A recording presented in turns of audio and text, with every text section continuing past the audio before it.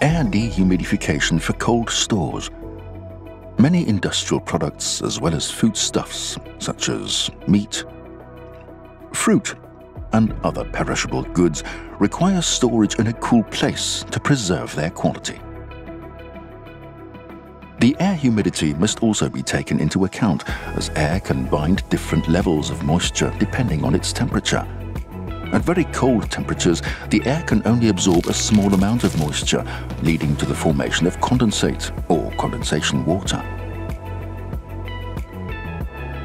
Especially in the warmer months, humidity in the outside air is a problem for refrigerated warehouses. Warm air flowing into the cold store via the airlocks cools down.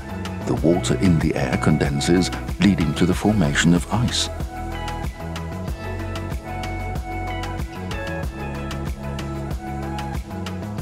This not only leads to icing on stored goods and the products themselves, but also causes the icing of systems and their potential malfunction.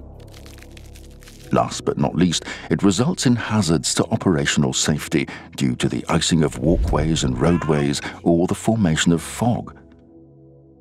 Therefore, professional air dehumidification is recommended for the dry, reliable and functional operation of refrigerated warehouses.